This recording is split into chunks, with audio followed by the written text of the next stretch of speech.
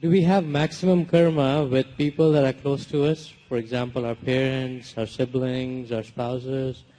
And if yes, uh, how do we deal with them different than others? Please repeat that. I didn't get the first part of the question. Uh, do we have maximum karma with people who are close to us? Oh.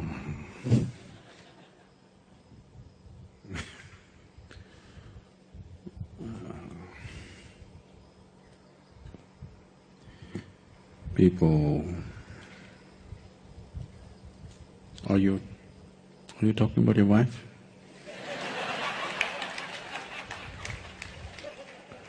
We kept her away from you for six months so that your karma could be reduced.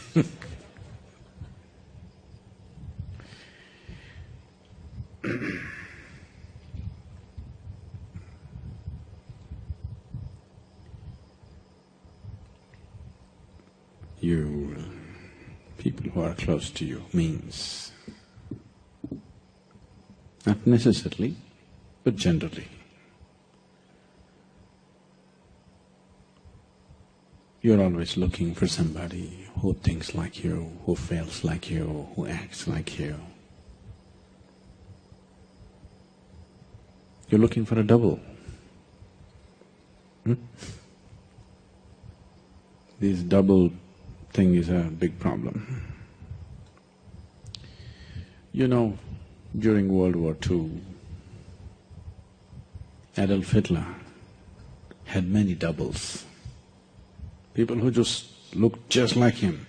They were trying to speak like… I mean, they were trained to speak like him, behave like him, all mannerisms, everything.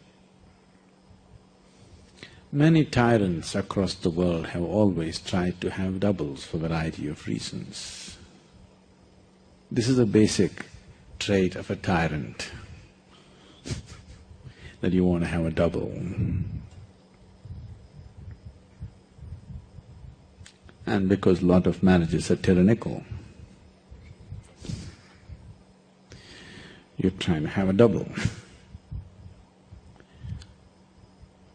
In 1944, when the World War II was uh, beginning to turn against the Third Reich, on a certain day, Himmler, who was the right-hand man of Adolf Hitler, walked into a safe house where there were eight Hitler doubles. All of them look like Hit- Hitler, they dress like Hitler, behave like Hitler, they have been trained for years. And everybody else who deals with them also have to behave as if he, they are Hitlers. So Heinrich Himmler walked in and said, Hail Hitlers! And said, I have good news and bad news. They all said, okay, what's the good news? The good news is our Führer is still alive. The bad news is he lost his left eye and he pulled out a metal hook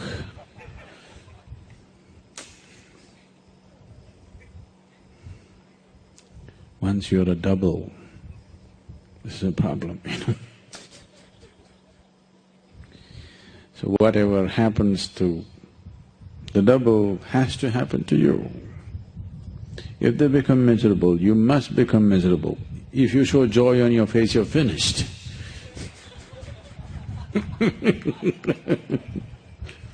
no?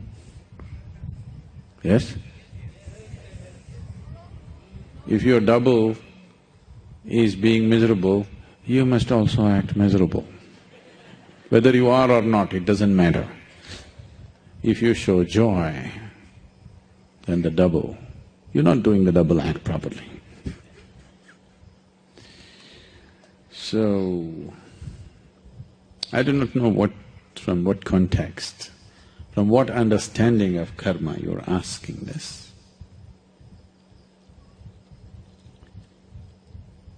People whom you believe you love and people whom you believe you hate. With both of them there is lot of karma. You may never meet the person, they're somewhere far away, but you hate them.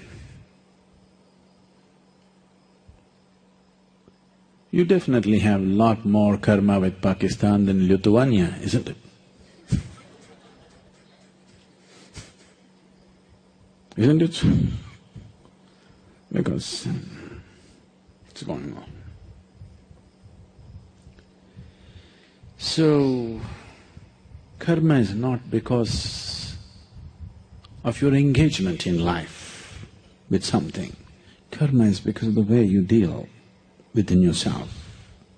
It is something that you're doing to yourself. It is not something that life is doing to you. It is something that you're doing to yourself. So what kind of karma you do to yourself is your choice.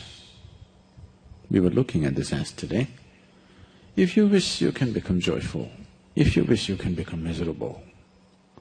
You can become blissful, you can become ecstatic you can become utterly, you know, you can cause agony to yourself without any reason. It's just you. So this must be understood. Karma means action. Whose action? My action. Or in other words, this is a great insight into life that you understand your life is your making. It is your doing. It is not somebody else's doing. Only because it is your doing. Only and only because it's your doing. There is room for liberation. If it was God's doing, how the hell are you going to break it? If the trap was God's trap, Creator's trap, there is no way you're going to break it because it's your doing. That is why it can be undone. After all, it's your doing. So, you can use somebody, people around you, either to break your karma, either to cause a karma of liberation or to cause a karma of bondage. Anyway, you're doing something always. You can't help that, isn't it? Physically, mentally, emotionally, energy-wise, something is happening with you all the time, awake or asleep. You cannot dodge that. If you're aware, you will cause karma of liberation. If you're unaware, you will cause the karma of bondage. You need not necessarily be married for that. You can simply do it. Sitting alone in a room for the rest of your life, you can create karma with everybody in the world. It doesn't take anything because it's something that you're doing within yourself. It is not an interaction with somebody. It is something that is happening within you. You are like a silkworm. Silk is a beautiful fiber and a fabric. But this is like a silkworm using his own marrow. He's weaving a cocoon for himself. This cocoon is very important. It's going to kill him.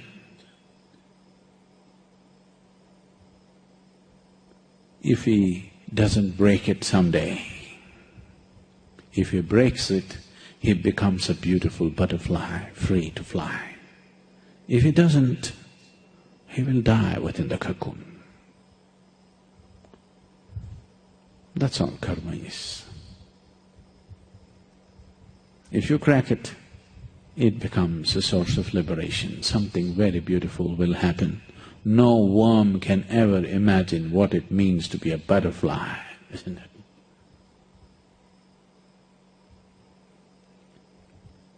But uh, if you die in it, then it becomes the greatest bondage because you died in your own cocoon, not somebody else's making, your own making. So, karma is not about somebody, whether close to you or far away from you, it's not about somebody, it is what you're doing within yourself. The very fundamentals of karma means it's my doing. Everything that I am is my doing.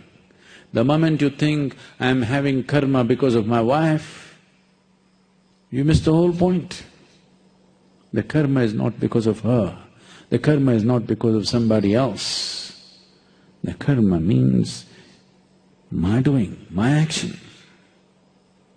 This is my creation. The bondage is my creation. So the liberation also has to be my doing. Somebody can help you, but this is an inside job. Because it's an inside job, a little outside help is needed. But it's an inside job. You're not having karma with anybody. Karma is about you. It is your making. It is your bondage. Two people may be living together, doing many things together. One may be becoming free, another may be getting entangled. Isn't it so? Isn't it happening? They are living together, doing the same things. One is using this to get entangled, another is becoming liberated because it's your doing. If it was each other's doing, then both would be entangled. It is not so. The very word karma means it's my doing. Nobody else is involved in this business.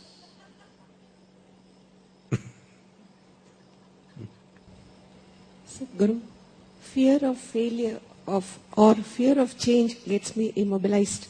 How can I change it? Fear of change does what? Or fear of failure. Mm. It makes me immobilized. How do I change it? Immobilized.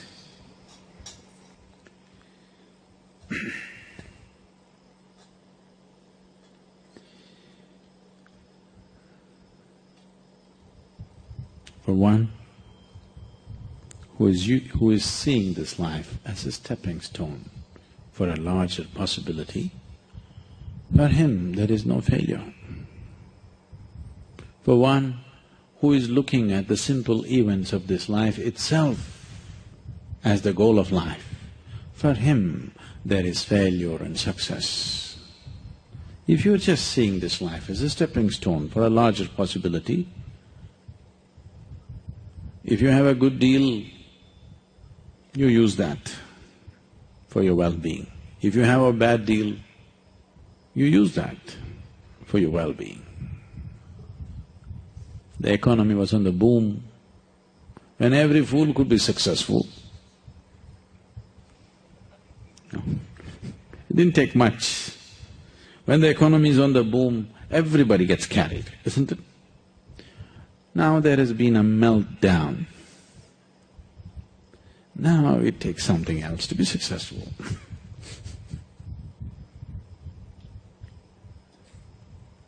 so, when the economy was on the boom, you could have brought a certain dispassion towards the money that's flowing in. Now the economy is down, the taps are all closed up. It's time to come, meditate, walk in the mountains, there's a lot of time. There's a lot of time on your hands, isn't it? When there was money, it took away your time and life. Now the taps are closed, lots of time. This is the time. So it doesn't matter what the hell happens.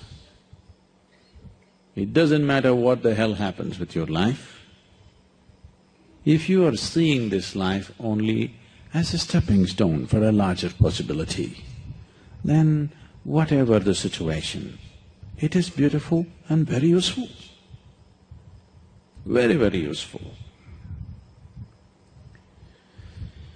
Once there was a farmer like you.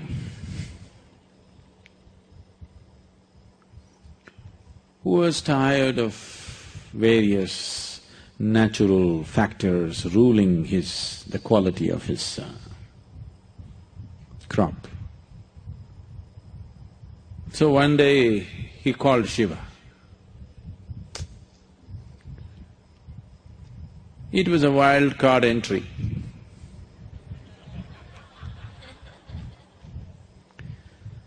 So he found excess.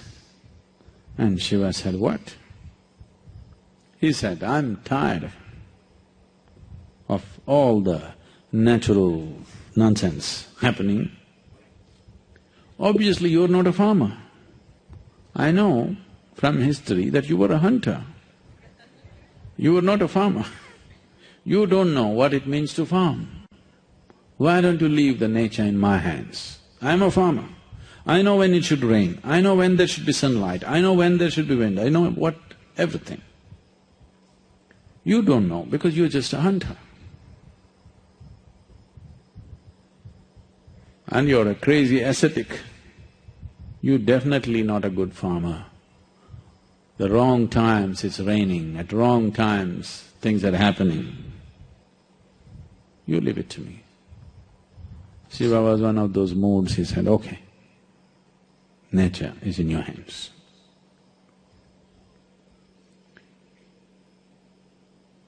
Then the farmer planted his crop,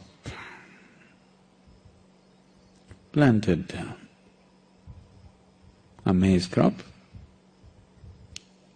rain. Poke the land and see, okay, it's soaked up to six inches, stop.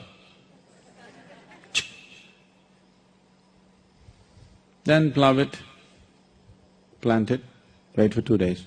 Rain. Mm. Sunlight. Today I'm working in the field, cloud.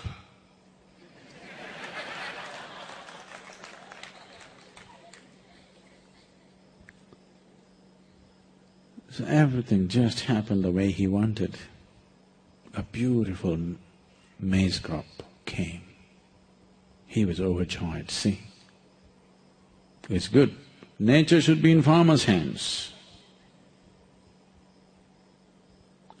And then when the time to harvest came, he wanted to see, because none of the birds were coming, he was surprised. Because that also he said, no birds, no birds. Then he went and opened and saw nice big everything, but you open and saw no grain inside. Then he thought, what the hell is this? What did I do wrong? Then he couldn't figure out, because rain, water, sunshine, everything he managed properly. Then again he went back to Shiva. But he was in this condition. You waited for many years for him to open his eyes. By the time he's, you know, these many years, the fields and the family, everything went to… But he wanted to know the answer. What went wrong? He's farmer first. Then when Shiva opened his eyes, he asked, I did everything right, but there is no grain. Did you sabotage my crop? Shiva said, I've been watching. You were doing, you were in charge, so I didn't want to interfere. The rain was great, the sunshine was great, everything was fine. But you stopped all the winds. I used to always send fierce winds which would threaten your crop. But because the plants felt pushed and threatened, they put their roots deeper into the earth. So grain happened. Now you have great maize crop. No maize? So various situations in your life, either you can use it to make yourself stronger and better, or you can sit and cry. This is the choice you have. Everything. It doesn't matter what happens. The most horrific event happened in your life, that also can be used for your growth and your well-being, if only if you have clearly seen the small events of your life. When I say small events, I mean your business, your marriage, your children, all those big things. All these things are just a stepping stone.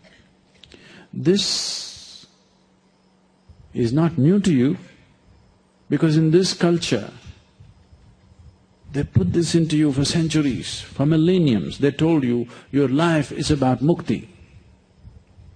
Your marriage, your business, your social life, these are all just means to get there. Either you go with it or you go without it. But whether you are a sannyasi or you are in the samsara, your only goal is mukti. Yes? The goal was not just for the sannyasi, for everybody it is mukti. If you can walk alone, you walk alone. You want party going with you, you walk with the party. That's your choice. You want to get there quick, you walk alone. You want to go there having picnic on the way slowly, you go with people. Choice is yours. But the important thing is whatever the hell you're doing, there's only one goal. So if you have set this up, then all the events of life, everything is beneficial. The boom is beneficial, the meltdown is even more beneficial actually. It is also ecologically very good, you know, the meltdown.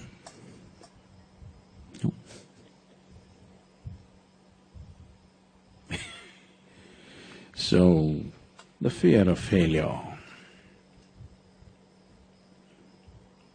Failure is bad enough. Fear is adding spice to it, isn't it? Success happens to you not because you desire it, because you earn it. Everybody desires it. It comes only if you're capable of it. No, no, I'm very capable, but… Mm, that's the but.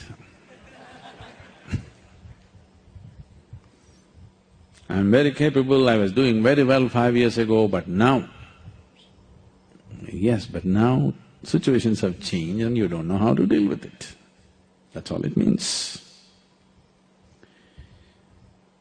If you have set a larger goal for yourself than just eating, breathing, earning a living, if you've set a larger goal for yourself, all these things are fine. Today you have a what uh, I'm, I'm sorry to torture you with reminder, a twelve-course meal. Tomorrow you have just dry bread. Both can be enjoyed, isn't it?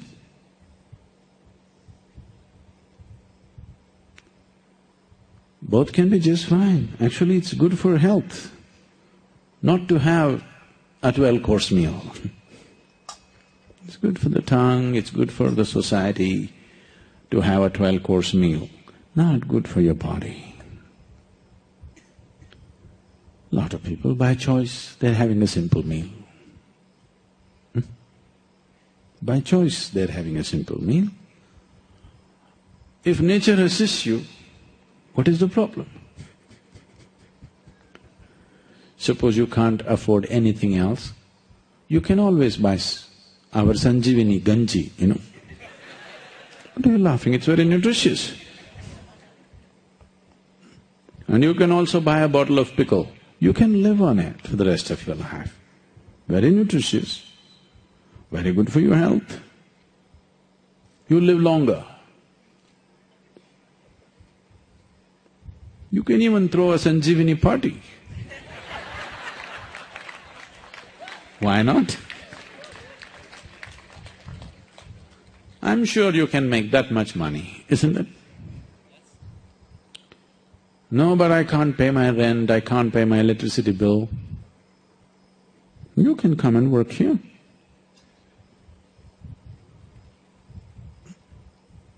We'll, if you don't have a building, we'll put you in the thatch roof.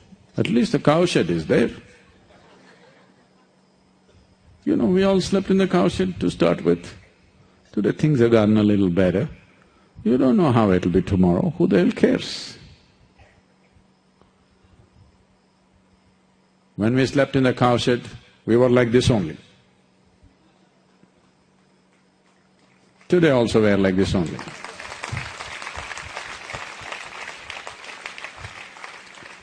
When we were in the cowshed, we were not like this. We were like this only. Now also we are like this only.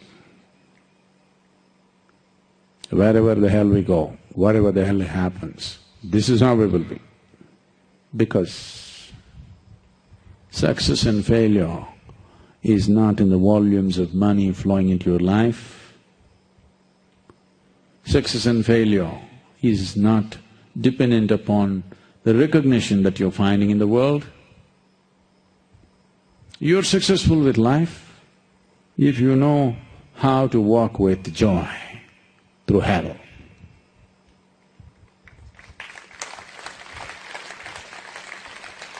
Meltdown is not hell, don't I know there is a certain amount of global warming involved, but it's not as hot as hell, not yet. It's not bad at all, it's very good. I'm sure you can do with less food, smaller house, smaller car, or walking is great, you know. Walking is very good for health, do you know? Some man who just uh, became hundred years old in uh, Coimbatore city, I have not met the man, I read in the newspaper just a month ago, he became… he his hundredth, hundredth uh, birthday, they asked him, what is the source of your health and well-being because he's still strong and good? He said, uh, I am a walk king. You know, he put a hyphen in walking and said, I am a walking. Because every day I walk, hundred, I'm still walking.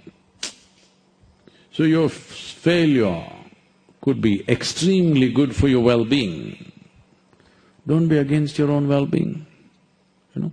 Sathumaavu Ganji and walking. Sure recipe for health.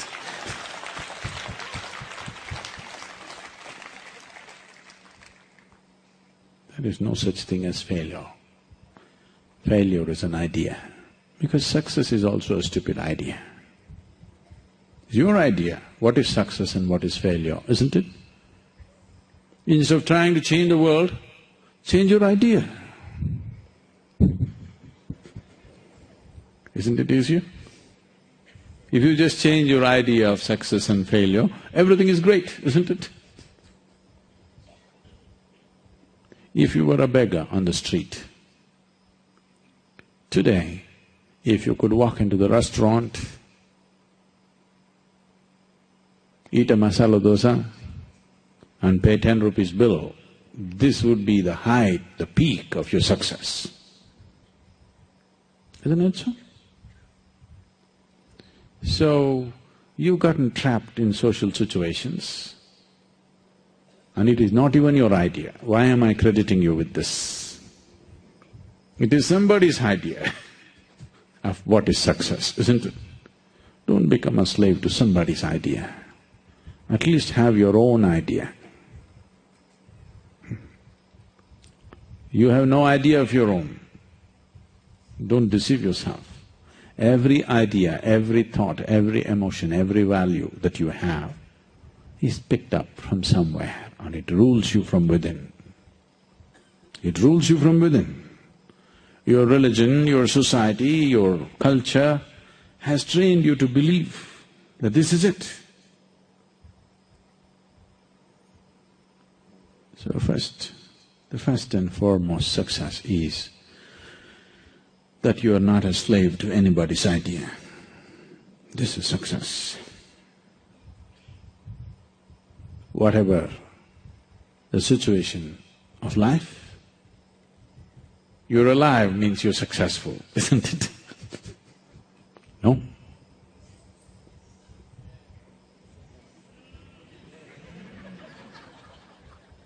Let me see it if you're successful. Hmm? This is success, you're alive. You don't know the value of life. you're crying about the share market. You do not know the value of life. Because the damn graph is going up and down, you want to die?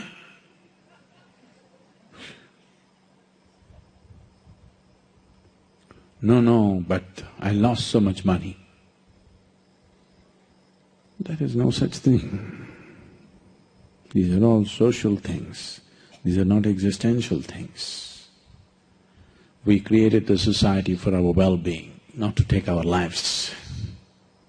Yes?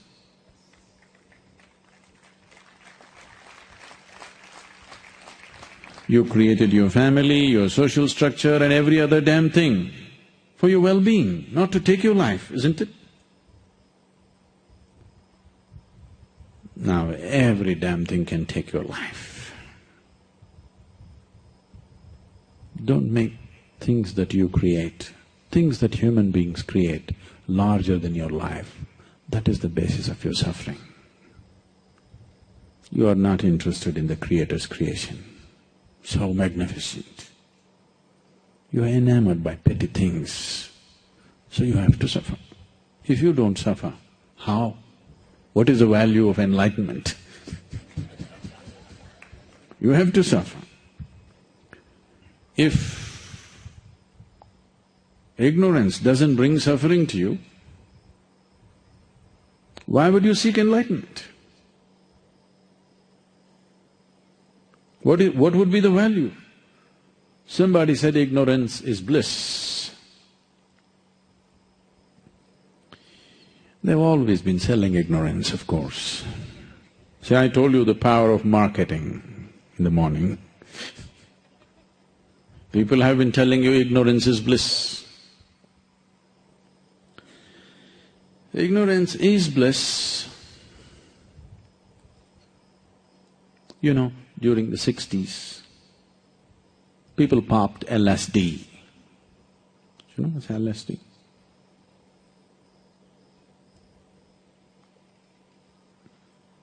Love, sex and drugs.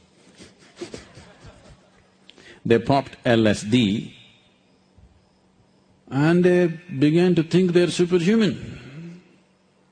And they jumped off tall buildings because they believed they're going to fly. And they did fly for some time. You know, when the Wright brothers flew, they were airborne only for twenty-four seconds, and that was a great feat.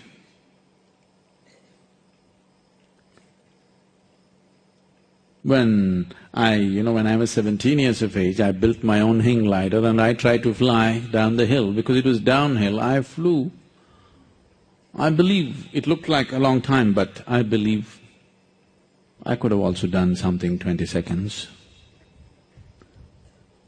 But then, when you realize it is not built to fly, then the bliss is over. I came down with two cracked ankles, but these people who jumped off buildings, they were blissful in their ignorance, till you hit the ground, of course.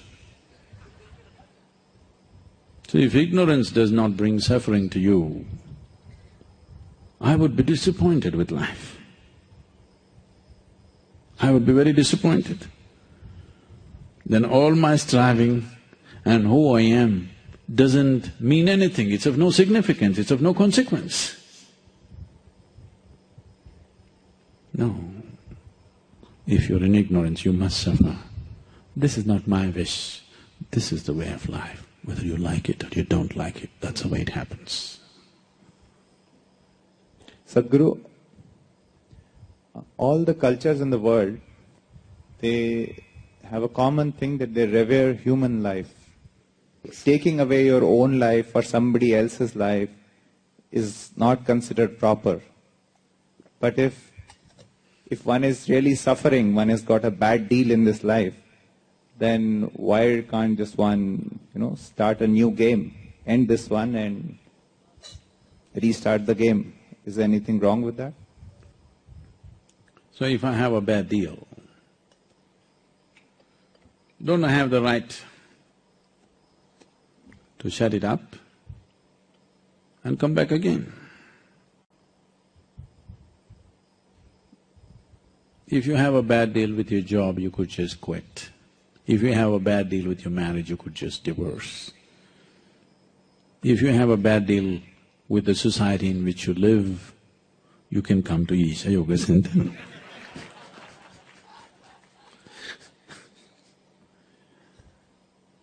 if you have a bad deal in Isha Yoga Center, you can go up the mountain. So, these are not good enough reasons for you to end the process of life. First of all, you didn't create it, so you don't talk about ending it. Unless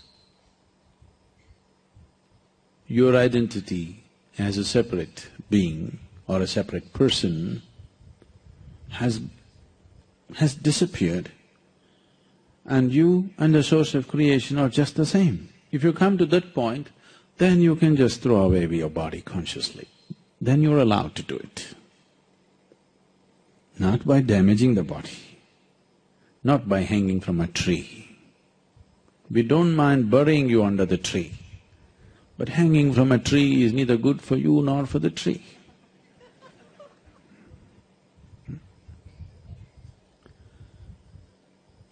We already looked at this. Whether it's a good deal or a bad deal, if you have a larger purpose, everything is a stepping stone. Everything is a stepping stone for your ultimate well-being, if you have set the larger goal. Every situation that you get into, you are getting so identified and caught up with it, now it feels like it's better to end your life.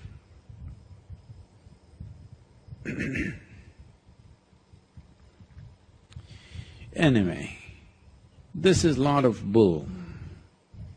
Because today something is going wrong, you want to end your life. Tomorrow morning something is going right, you want to live. You want to have your third baby. You want to get married once again. If things are going little better tomorrow morning, you'll have plans. Everything looks bleak, you think of suicide, isn't it? So this is just a game that you're playing in your mind.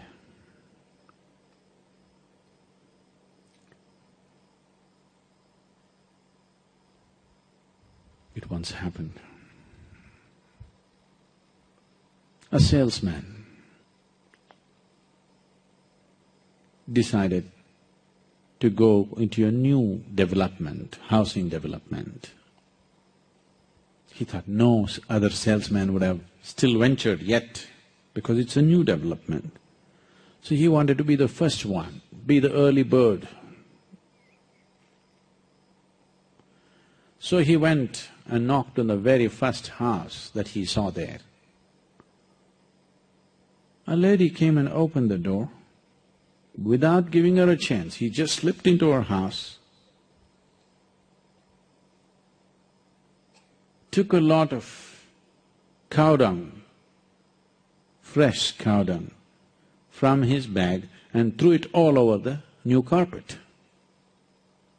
And he said, See, I have a wonder vacuum cleaner. You watch it. I'll clean this carpet without even leaving the slightest of odor.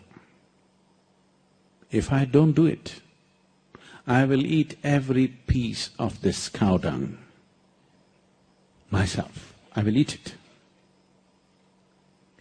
So the lady asked, would you like some tomato sauce? because we still do not have electricity in the house.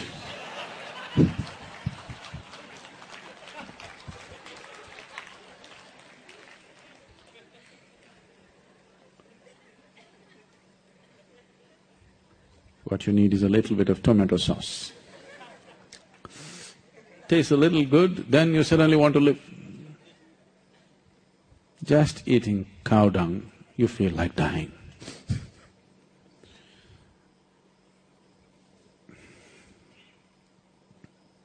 You stood up and said, Sadhguru, if you know what you're uttering, such nonsense should not come out of your mouth. There is no meaning to Sadhguru when you are wanting to end your life. Because it's not worthwhile sitting here, that's what you're telling me. Is it? It's not worthwhile sitting here. You're not in grace. You're somewhere. About how your job is not working, how your family is freaking you, how something else is happening. That's all you're thinking about. Just be here. Suddenly it'll be worthwhile. I'll make it worthwhile.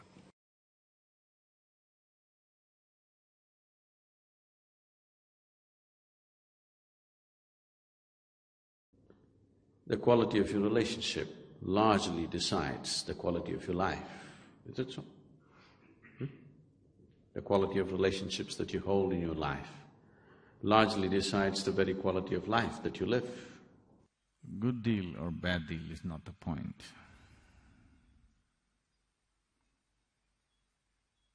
The point is,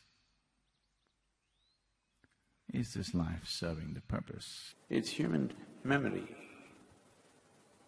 which is the source of all bondage. What you call as karma is just memory on different levels of life. Don't believe anything that is not yet your experience. It doesn't matter who says it. This does not mean disbelief. No, you don't know, that's all. Somebody tells you a story,